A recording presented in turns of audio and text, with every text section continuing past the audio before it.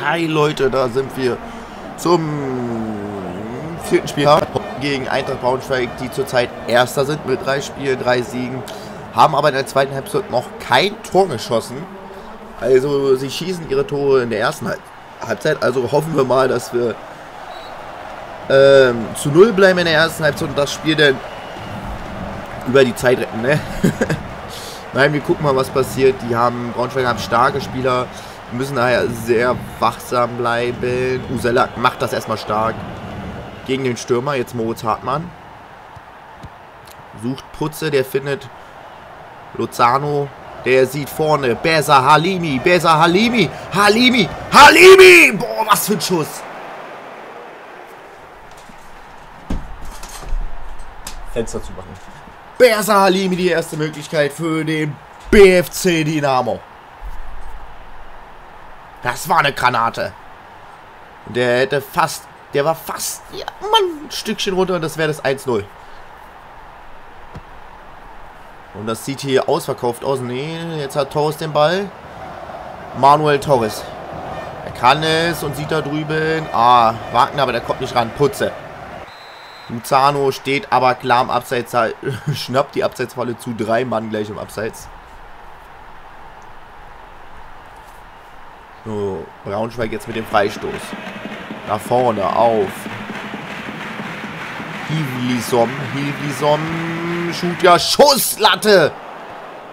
Jetzt die erste gute Möglichkeit für Braunschweig. Und das war riskant, aber wir haben den Ball. Christopher Burkhardt.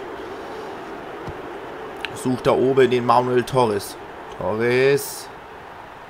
Dreht nochmal ab. Sucht Burkhardt. Uh, der war gefährlich. Aber Putze kommt ran. Stark gemacht mit gutem Einsatz. Torres jetzt. Er kann natürlich ins Tripling gehen, legt aber nochmal zurück auf Burkhardt. Ah, das war schlecht von Christopher Burkhardt. Holt aber Minimum noch den Einwurf raus. Putze. Oh mein Gott. Torres. Gegen Matuschka. Aber ja, Braunschweig ist wieder am Ball. Und suchen Ufuso Ai. Ex-Duisburger war es, glaube ich, sogar. Jetzt Mirko Broland, aber Christopher König stark. Jetzt Martin Wagner. 15 Minuten gespielt. Es ist ein, bis jetzt ein Hin und Her. Und Wagner, der sieht in der Mitte den Halim. Und jetzt muss er doch den Pass in die Mitte spielen. Da stand alles frei. Martin Wagner sucht jetzt Moritz Hartmann. Das ist, das ist kein Abseits. Das ist eine neue Spielsituation. Och, komm. Zählt das als... Ich weiß es nicht, ob er, ob er es so gewollt hat, dass er eigentlich zurückpassen wollte. Für mich sah es so aus. Jetzt muss Wagner das Duell gewinnen und das gewinnt er auch gegen Mirko Boland. Martin Wagner jetzt gegen Mirko Boland. Und er sieht in der Mitte Halimi. Halimi. Halimi! Besser Halimi! Latte Hartmann 1-0 BFC. Das war ein schönes Ding von Bersa Halimi. Tanzt sich aus, knallt das Ding gegen die Latte. Aber Hartmann ist da als Stürmer. Kaufoption werden wir dann auf jeden Fall ziehen. Der zweite Treffer schon. Yes, Mann! Boah. Und jetzt dran bei Balgun, Leon Balgun, der bei Mainz zurzeit in Wirklichkeit ein sehr gutes Saison spielt. So, Rasi, da muss er aufpassen, der Italiener. Er ist gut, aber oh mein Gott, Hilvisom, Hilvisom und Olleshausen. Hart durfte er erstmal den ersten Ball fangen. Oh, Putze, verliert das Duell. Ufuso Ae. Spielt raus, aber schön von Martin Wagner gegen Mirko Boland. Der ist jetzt noch nicht warm ist, Boland. Oh, Halimi, schön mit der Hacke mitgenommen. Bersa Halimi. Sieht oben Christopher Burkhardt. Der könnte Torres schicken und der schickt auch Manuel Torres. Komm, Junge. Ah, da kommt er nicht. Er kommt, muss ein bisschen schneller drehen. Hali, Halimi kann ihm das mal zeigen. Omladic kommt jetzt. Und da ist aber wieder Grassi und Hartmann gegen Hochscheid. Ja, das sah sehr komisch aus. Jetzt müssen wir aufpassen. Thorsten Öl, aber Uselak ist da und klärt. Bis jetzt steht die Abwehr gut. Grüne. Ja, mal ein bisschen auf Ballbesitz. Grasi. Bis jetzt ein richtig guter Transfer, aber es sind ja auch bis jetzt nur zwei Spiele von ihm. Wir, wir nehmen auch gerne den Ballbesitz. Solange wir den Ball haben, können sie kein Tor schießen. Jetzt sollten sie es bloß nicht verkacken. Oh, schön. Also riskant, aber auch gut gemacht von Köhne. Jetzt der Putze. Treibt den Ball nach vorne. Ganz oben steht Manuel Torres oder Burkhardt. Spielt er raus. Nein, Putze läuft. Da wird auch nicht richtig angegangen. Da kann er natürlich den Weg gehen. Jetzt äh, Burkhardt los zu Torres. Ah, muss er schneller spielen. Oh, jetzt ein langer Ball von Burkhardt auf Torres. Und der Ball... Ah, schade. Wenn da Halimi am Ball kommt, dann haben wir die nächste Möglichkeit. Jetzt müssen wir aufpassen. Braunschweig kontert. Und das über Earl. Aber Grassi ist wieder da. Köhne. Wie cool rum, genau. Schön. Uselak. Genau, solange wir den Ball haben, können sie nichts machen. Oh, Burkhardt, was machst du? Und Foul. Gelbe Karte, nein, okay. Okay, war das erste harte Foul. Kann man mal drüber wegsehen. Halimi im Kopfballduell. Aber Putze passt auf. Er muss jetzt gegen Earl und der kann im Einsatz, aber Halimi ist auch da. Schön von Bersa Halimi. Torres. Was macht er draus? Oh, dribbelt am ersten vorbei an Reichel. Oh, da wollte er Luzano schicken. Und jetzt stehen sie sich im Weg, die Braunschweiger. Und Halimi dazwischen. Mann, was ist das für ein Spiel von unseren Jungs? Hartmann, ist das ein Foul? G, der war nicht der Ball, da war nicht der Ball König. Jetzt muss er ran. Putze mit nach hinten. Earl. Matuschek. Und jetzt. Äh, um das ist doch kein Elver, Schiri. Ah, bist du von allen guten Geistern. Und er schießt gegen die Latte. Das ist einfach Gerechtigkeit. Das ist Gerechtigkeit. Das ist halt so. Das war niemals ein Foul. Er spielt den klar den Ball jetzt, der Torres. Komm, Junge. Schöner Ball auf Halimi. Der sieht Luzano. Oh nein, der steht knapp im Abseits. Das wäre es gewesen, ne? Den Elfmeter verschossen und dann das 2-0. Wir können noch hoffen. Wir sind noch richtig gut drin, aber wir dürfen das Ding jetzt nicht kassieren. Das wäre psychologisch schlechter Zeitpunkt. Matuschik spielt jetzt bestimmt raus. Nee, noch nicht. Grassi ist da und hat die Murmel. Und jetzt haben wir wieder die Murmel. Jetzt spielen wir cool. Das können wir. Ballbesitz. Manuel Torres jetzt. Torres. Spielt den Ball auf Luzano. Der spielt wieder auf Torres. Der spielt... Das ist doch ein... Das pfeift er denn nicht, Schiri. Also, das muss ich nicht verstehen. Was ist denn das? Hallo, eine Minute Nachspielzeit. Schiri, bist du denn... Krass, ich hau die Mumme weg. Das gibt's doch nicht. Jetzt pfeift er bei uns ab, wenn wir jetzt äh, die Möglichkeit haben. Hartmann, schön. Schön das Spiel beruhigt. So 1-0 geben wir in die Pause. Boah. Das ist aber auch ein Spiel. Nervlich macht mich das jetzt schon fertig. Putze motivieren. Das ist ein gutes Spiel von unserer Abwehr. Ich verstehe nicht, warum die so schlechte Note haben. Kein, kein Verständnis. Wagner, Löwen, loben wir mal. Die Früchte. Dann nehmen wir Wagner und Torres. Vielleicht die Innenverteidiger. Christopher Köhne. Ja. Verteidigung ist mir wichtig. Wir verlieren das hier nicht mehr. Und gucken, was jetzt noch passiert. Boah, ich bin richtig angespannt. Das, das kann eine Überraschung werden, das 1-0 dann auch ohne Gegentor. Wir haben seit sechs Spielen haben wir immer ein Gegentor kassiert.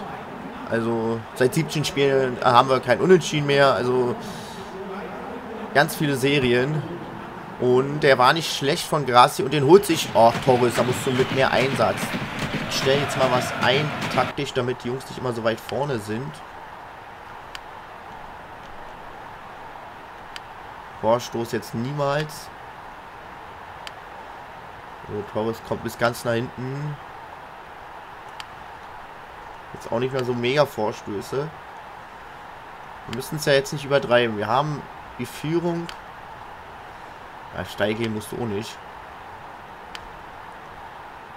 Wir liegen, zu wir liegen vorne, da müssen wir jetzt, jetzt nicht so mega äh, 45, ja, das reicht schon. So, jetzt Hartmann nach hinten.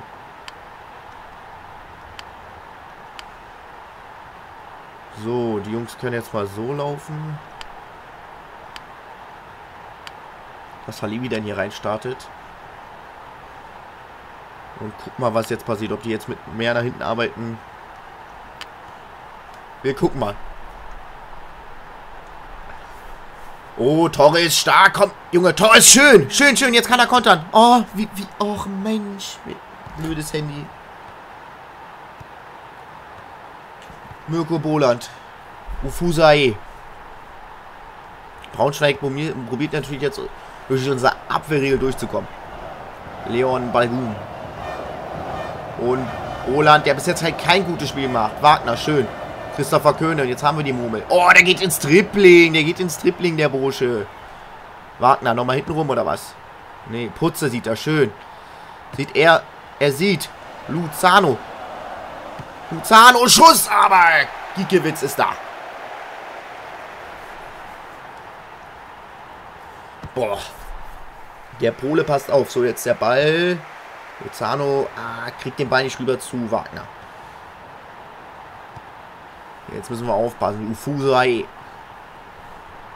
Oh, Wagner kommt fast dran, aber er war am Ende gut gespielt und Putze kommt nicht hin. Jetzt muss Christopher Köhne. Oh, kommt auch nicht hin.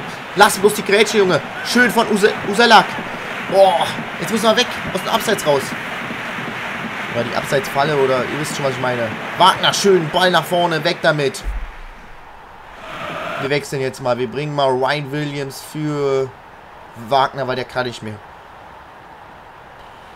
Äh, Hartmann kann auch nicht mehr. Wir springen jetzt Stolze. Defensive Burkhardt. Nee, das steht alles. Wir führen immer noch 1-0. Das ist gut. Das hätte ich nicht erwartet, aber ein Unentschieden würde ich dann auch am Ende mitnehmen. Jetzt äh, Hartmann, der kommt bis ganz nach hinten, aber Alleshausen hat die Murmel. Ganz sicher. Grasi. Muss er aufpassen, wie er sich den Ball vorlegt. Torres. Manuel Torres geht jetzt wieder ins Dribbling. Torres, komm Junge, zieh durch. Schön. Oh, faul! Das pfeift er vorhin als Elfer. Das pfeift er jetzt nicht. Das war genauso ein hartes Einsteigen. Torres, lass es. Lass es, Torres. Lass doch, lass doch Dings, Boka dran. Das verstehe ich nicht. Aber Uselak ist da. Wagner, schön. Gut in der Defensive spielen wir da. Da müssen wir aufpassen. Braunschweig. Um Nadic, Matuschek, Adam Matuschek, Burkhardt. Oh, lässt sich da austanzen. Oh, schön von Torres und Ball weg. Braunschweig kommt, äh, kommt auch gar nicht, durch. Und jetzt Torres mit einem schönen Ball. Und jetzt bringt er mal Luzano ins, oh, ins Sprintduell. Aber Marcel Correa passt auf und klärt.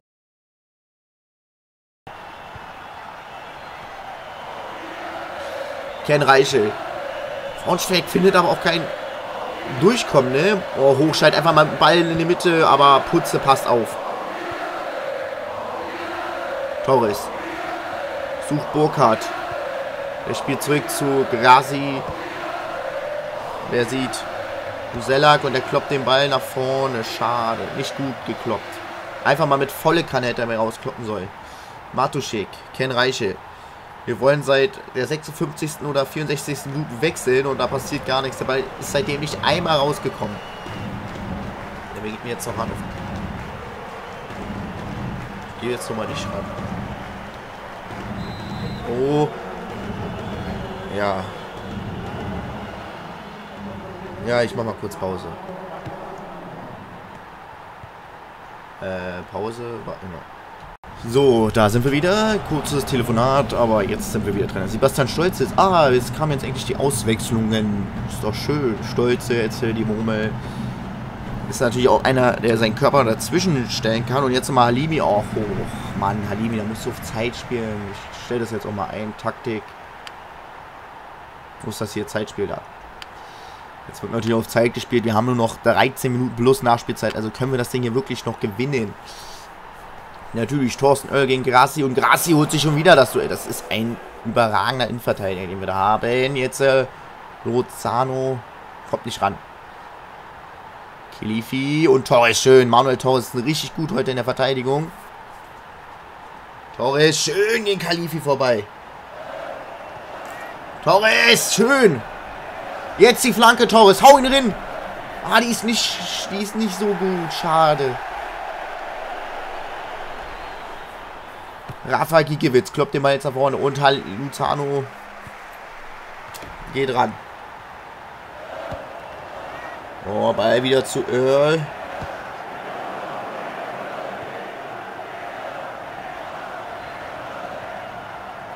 Oraya, der kommt jetzt auch schon mit nach vorne. Torres schon wieder dazwischen. Burkhardt, jetzt müssen wir aufpassen. Nicht flanken. Burkhardt stark, jetzt Torres, klopp ihn raus. Die letzten 5 Minuten plus Nachspielzeit. Braunschweig schmeißt natürlich jetzt alles nach vorne. Kilifi. Kilifi, was macht er? Er spielt nochmal zurück. Jetzt äh, die letzten 4 Minuten. Jetzt soll der Innenverteidiger auch noch raus bei Braunschweig. Oraya und jetzt der Lozano. Komm ran da! Schade. Und Uselak, schön. Und wir haben die Murmel. Und zurück und Zeitspiel. Wir haben die Murmel. 88. Minute. Uselak, schön auf Halimi. Der ist durch. Halimi. Komm, Junge, zieh. Halimi. Sucht jetzt Stolze. Oh, da kommt echt noch der Fuß von. Ich weiß nicht, wer es ist. Ran. Torres jetzt nochmal. Und er legt nochmal zurück. Zwei Minuten werden jetzt noch nachgespielt. Christopher Burkhardt. Zu Grassi. Und der, der sieht schön. Putze. Putze. Der spielt den Ball in die Offensive zu Lozano. Der geht ins Dribbling. Der schießt. Boah, der kam gar nicht so schlecht. Ich weiß nicht, warum Rafa Giekewitz den so unterschätzt hat. Boah, was für ein... Okay, der geht doch ne... Aber der dreht sich fast rein. Dennis Dogan kommt jetzt. Leon Balogun ist raus. Giegewitz kommt der Mal, kommt. Es ist vorbei. Wir gewinnen das 3D-Spiel gegen Eintracht Braunschweig. Zweiter Sieg in Folge. Schönes Ding. Durch Manuel Trox, der hat da in der Verteidigung so gut mitgespielt. Das war einfach nur überragend. So, dann würde ich mal sagen, sehen wir uns. Ja, oder ziehe es. Ach komm, ich ziehe es wieder mit durch. Und dann sehen wir nochmal das Tor von Moritz Hartmann. Und jetzt sind wir gleich im Nachbericht. So, da sind wir. Grassi. 2,5 hat der alle da rausgeholt hat. Richtig stark Hartmann mit seinem Tor. Torres 3,5 das verstehe ich nicht. Der spielt da so überragend in der Defensive. Da ist eine 3,5 eigentlich ein Witz. Burkhardt, also Defensive richtig stark. Putze der eine 2,5. Also es läuft gerade. Es läuft gerade wieder. Hier, Marcel Correa richtig gutes Spiel gemacht.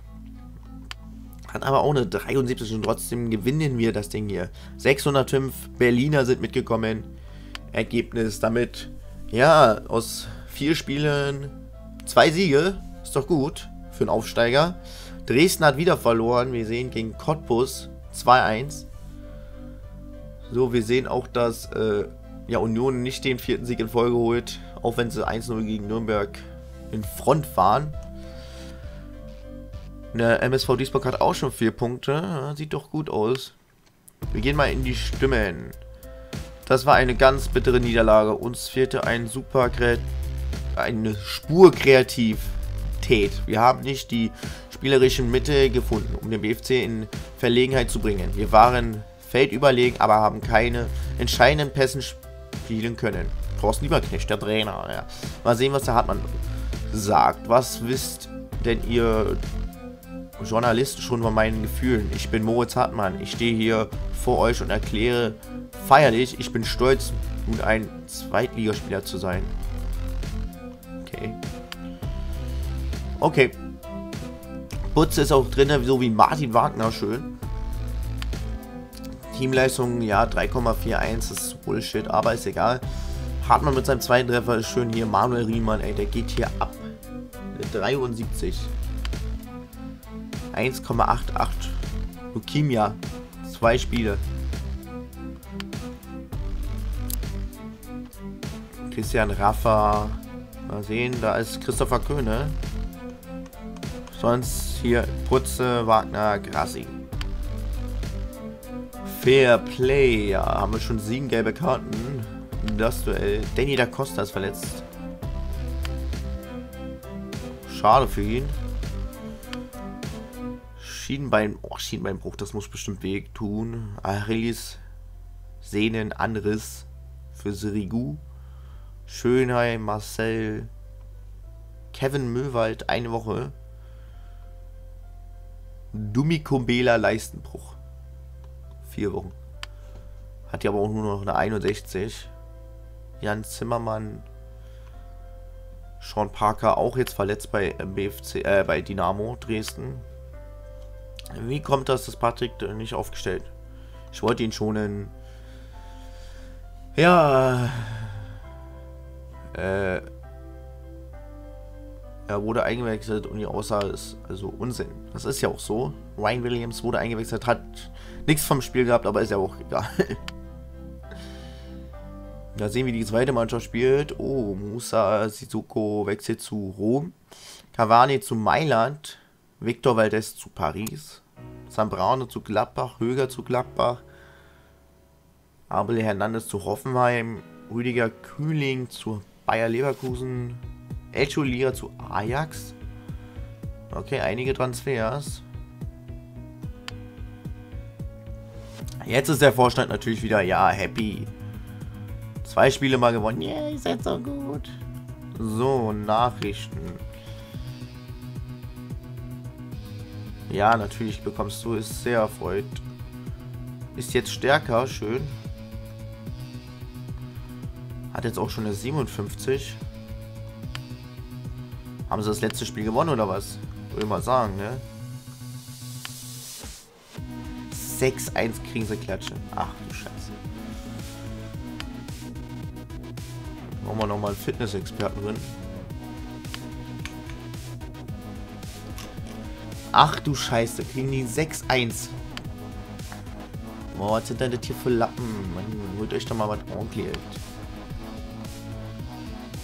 Mensch, Mensch, Mensch, ey, das gibt's zwar nicht. Assistent bitte. Das sind ja wirklich Lappen hier. Ihr Lappen, ihr. So. Die zweite Mannschaft spielt. Ach du Scheiße. Will ich eigentlich ja nicht sehen. Kriegen wir auch nicht mehr angezeigt. Weiß nicht warum. Aha.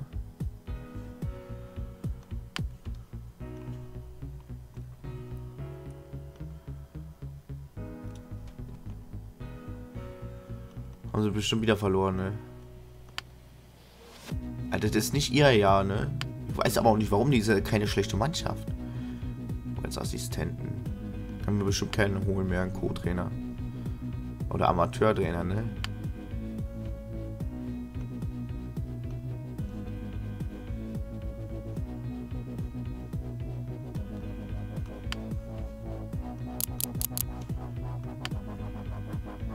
Achso, okay. Finanzen, Finanzstatus bitte. Ja, du musst auch Geld müssen umändern.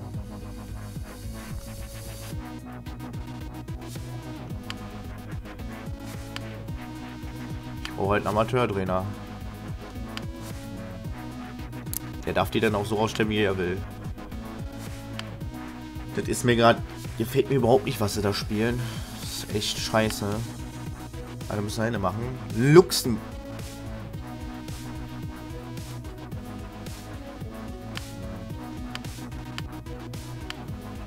Warum nicht nochmal nach Luxemburg? Luxemburg ist aber was Tolles. Mal was Neues. Oh, die letzten Transfers. Luxemburg ist ja auch mal cool, ne? Also mal sehen, wie das da so wird. In Luxemburg. Oh, wir sehen hier ganz viel. 9 Minuten, 10 Stunden, nein, 9 Minuten, das sind es jetzt nicht, aber... Oh, da Rafael Varane von Madrid zu Liverpool, Katscher zu Grasshopper Zürich, Jack Robinson zu Monaco, Kühne von Dortmund zu Nürnberg, Van der Wiel zu wohin? Paris, Kalichu zu Rom, Lazio Rom, Sigtorsson zu Neapel. Und Spieler des Monats Nils Petersen. Sechs Spiele, vier Tore. Der Junge übertreibt wieder mal. Jetzt kommt Arminia Bielefeld, die 14. sind und vielleicht jetzt gerade keinen Lauf haben, wie scheint oder so. Paderborn gegen MSV. Union gegen Düsseldorf, das ist ein Top-Duell. Nachrichten, Transfer abgeschlossen. Äh, Transfer-Dings abgeschlossen. Sehr zufrieden. Lukas Rehbein wieder in der Reserve zurück. Scheiße, wir haben noch immer noch nicht den Co-Trainer. So, Rehbein kommt mal rein für Dennis. Hände, der hat ein gutes Spiel gemacht, wie es scheint. 1,5. Hm, Erstmal mit den Jungs wieder quatschen hier. Costa, du hast gut trainiert. Brände. Du musst deine Ziele herunterschauen. Magna, du trainierst sensationell. Das stimmt ja auch, ne? Macht sich echt gut. Grassi genauso.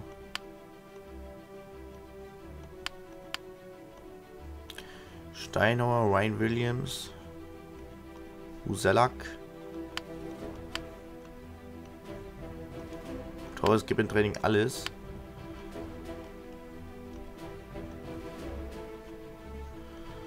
Köhne, du trainierst sensationell. Den letzten Sieg verdanken wir dir. Mal sehen, was er sagt. Er gewinnt 10 Moralpunkte. WTF, das habe ich bis jetzt noch gar nicht. Hartmann ist on fire. Eine Kaufoption für 100.000.